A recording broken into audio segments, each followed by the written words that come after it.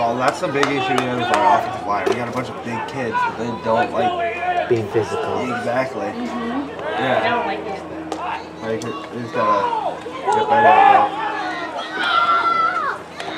You go through,